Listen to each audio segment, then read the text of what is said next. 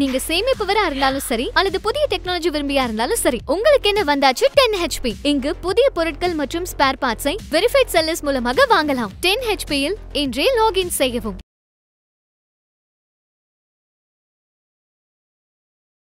வணக்கம் sir Armstrong கொலை வழக்கில் தொடர்புடைய குற்றவாளிகள் வந்து ஒவ்வொரு நாளும் ஒவ்வொருத்தராக கைது பண்ணிகிட்டே இருக்காங்க. இப்போ விசாரணையும் போயிட்டே இருக்குது ஆனால் இந்த சம்பவத்தில் தொடர்புடைய ரெண்டு பேரை வந்து இன்னும் போலீஸாரை வந்து கைது பண்ண முடியல தேடிட்டு இருக்காங்க. ஒன்று வந்து சம்போ செந்தில் இன்னொன்று வந்து சிசிங் ராஜா ரெண்டு பேர்.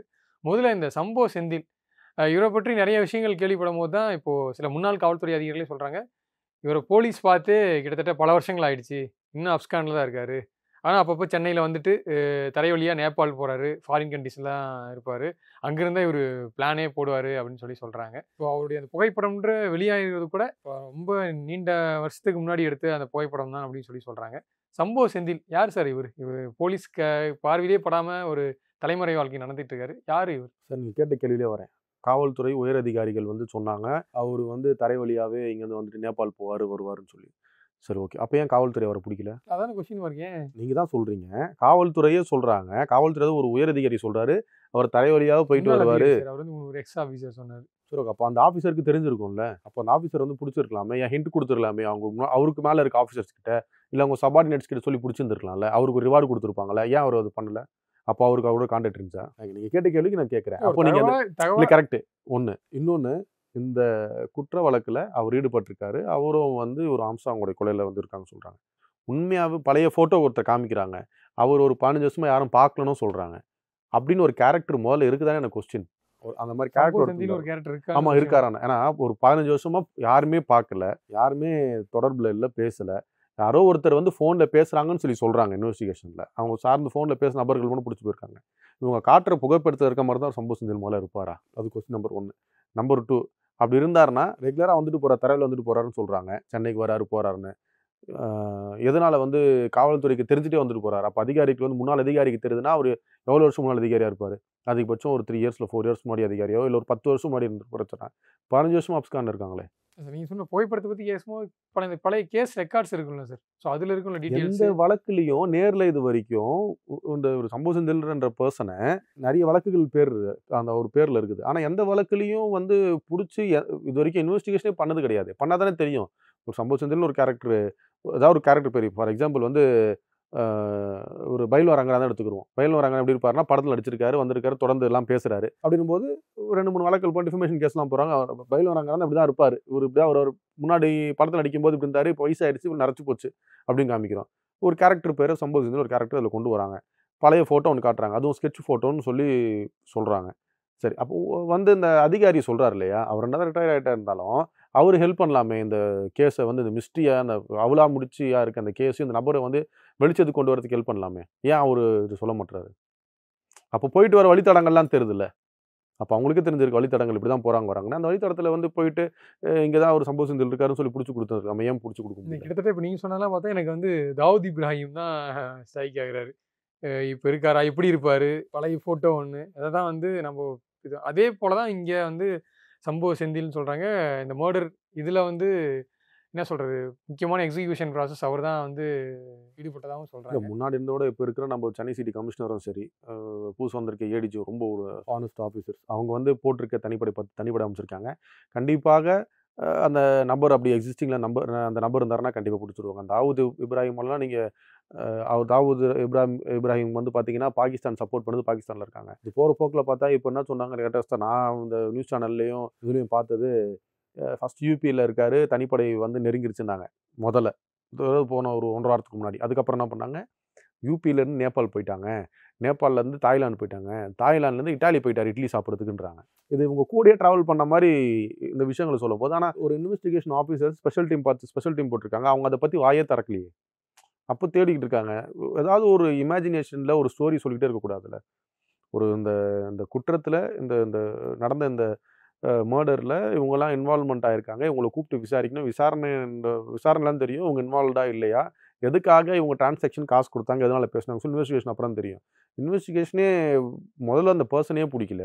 பிடிக்கவும் பிடிக்காத முன்னாடி விசாரிக்காத முன்னாடியே இவர் இப்படி போயிட்டார் இப்படி வந்துட்டாரு ஒரு பெரிய நெட்ஒர்க் இருக்குது அப்படின்னு சொல்லிட்டு ஒரு அசம்ஷனில் பேசுறதுன்றது நான் தப்புன்னு நினைக்கிறேன்.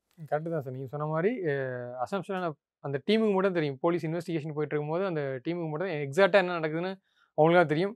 ஆனால் சில தினங்களுக்கு முன்பு முன்பு வந்து அவருடைய நண்பர் அவங்க குடும்பத்தோட தாய்லாந்தில் போய் தாய்லாந்துக்கு போயிட்டார் ஃபேமிலியோட அப்படின்னு சொல்லிட்டு ஒரு தகவல் வருது. அதை பற்றி சொல்லுங்கள் அதுவும் ஊடகங்கள்லாம் சொன்னாங்க. இந்த மாதிரி ஒரு ஒருத்தர் இருக்காரு இந்த மாதிரி கேஸ் இருக்காங்க. அவர் வந்து இங்கேருந்து வெளிநாடு தப்பிச்சு போயிட்டாரு குடும்பத்துடன் சொல்லி சொல்கிறாங்க நம்ம நேரில் பார்க்கல. அவங்க சொல்கிற விஷயம் நம்மளும் கேட்டுக்கிறோம்.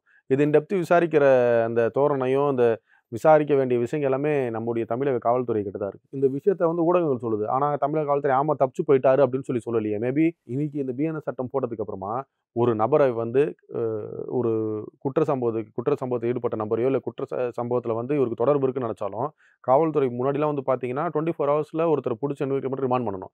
ஃபிஃப்டீன் டேஸ் வரைக்கும் அவங்கள வச்சுக்கிட்டு விசாரணை செய்து அவங்க அந்த வழக்கில் இருக்காங்களா இல்லையான்னு சொல்லி பார்த்துட்டு ஃபிஃப்டீன் டேஸ் வரைக்கும் அவங்க வச்சுட்டுக்கலாம் நீதிமன்ற காவலில் வைக்காமல் அப்போ மேபி அவங்க அரெஸ்ட் கூட பண்ணி வச்சுருந்துருக்கலாம். ஒரு தனி ஒரு விசாரணை இடத்துல இருக்கலாம். பதினஞ்சாவது நாள் கூட கொண்டு கூட ரிமாண்ட் கூட பண்ணலாம்.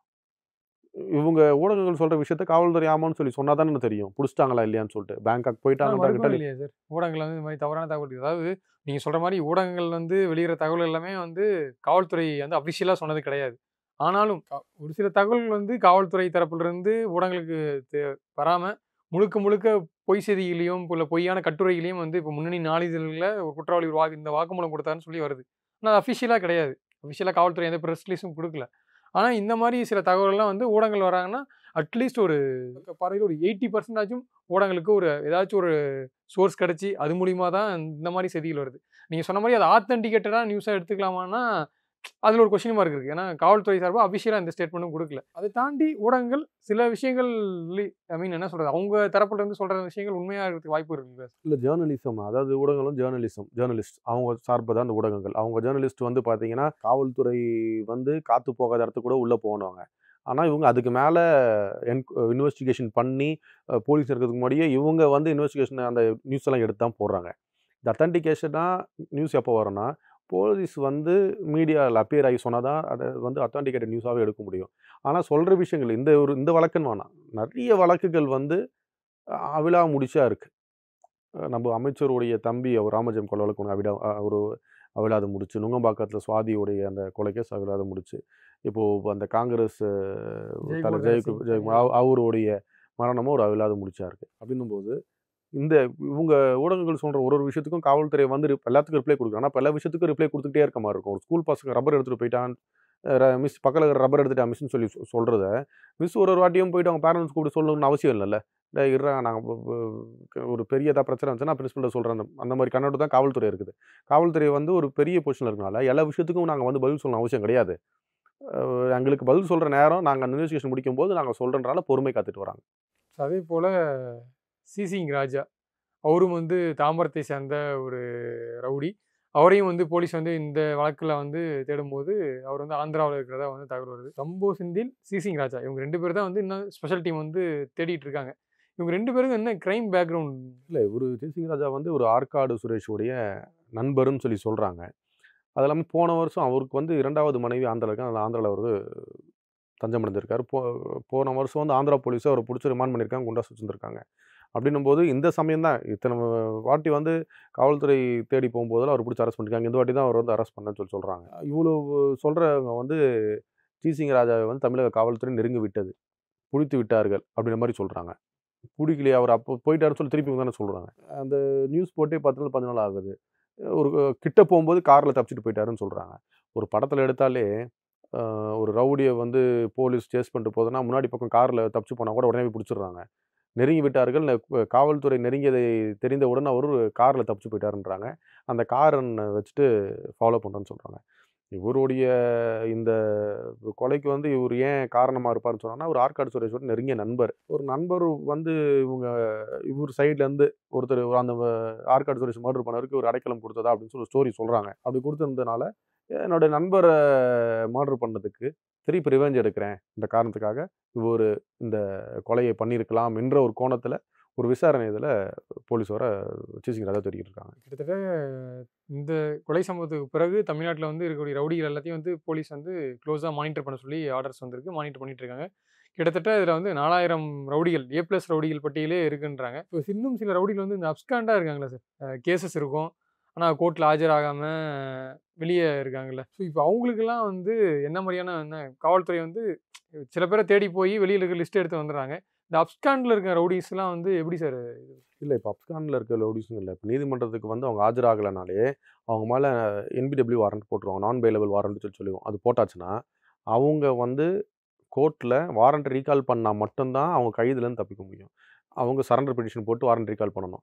சில டைம் அவங்க தொடர்ந்து குற்றவாளி நிறைய கேஸில் இன்வால்வ் ஆகியிருக்காங்க காவல்துறை பிடிக்க முடியாதுன்னும் போது வாரண்ட் ரீகால் பண்ணவே மாட்டாங்க. கோர்ட் என்ன பண்ணுறோம் ரிமாண்ட் பண்ணுறோம் டேரெக்டாக திருப்பி சிறையில் போயிட்டு சிறையிலேருந்து இந்த வழக்கை நீங்கள் முடிக்கணுன்றவாங்க இப்போ நம்ம போலீஸ் நிறைய டேட்டாஸ் வந்துருச்சு. ஃபோன்லேயே வந்து பார்த்துக்கிறாங்க வேறு ஏதாவது ஒரு இடத்துல ஒரு இன்வெஸ்டிகேஷன்லையோ இல்லை வெஹிக்கிள் செக்கிங்லேயோ மாட்டுறாங்கன்னும் போது அந்த ஃபோட்டோவை போட்டு பார்த்து ஃபோட்டோ பிடிச்சி அந்த ஆப்பில் போட்டாலே அவர் மேலே எவ்வளோ வழக்குகள் இருக்குன்னு சொல்லி ஃபுல்லாக தெரிஞ்சிடும் அந்த மாதிரி சமயத்தில் மாட்டும் போது எடுத்து அவர் குண்டாசை போட்டு உள்ளே வச்சுட்டு வழக்குகளை முடிச்சாதான் வெளியே வரணும்னு சொல்லிட்டு உள்ளே சிறையிலேயே வச்சுட்டு இந்த வழக்குகளை முடிக்கிறதுக்கான வழியை பார்ப்பாங்க காவல்துறை. இப்போ இறுதியாக ஒரு கேள்வி சார். இப்போ நீங்கள் சம்பவ சிந்திர பற்றி சொல்லும் போது ஃபஸ்ட்டு அப்படி ஒரு கேரக்டர் இருக்கான்ட்டு ஒரு விஷயம் வச்சிங்க. அதே மாதிரி அவர் வந்து சப்போஸ் அவர் தமிழ்நாட்டுக்குள்ள வந்துட்டு போகிறாருன்னா அதை யாராச்சும் நீங்கள் சொன்ன மாதிரி யாராச்சும் ஒருத்தர் பார்த்துருப்பாங்கல்ல? இது எந்த உதவியும் இல்லாமல் வந்து போகிறாரான்னு சொல்லி ஒரு கொஷின் மார்க் வைக்கிறீங்க.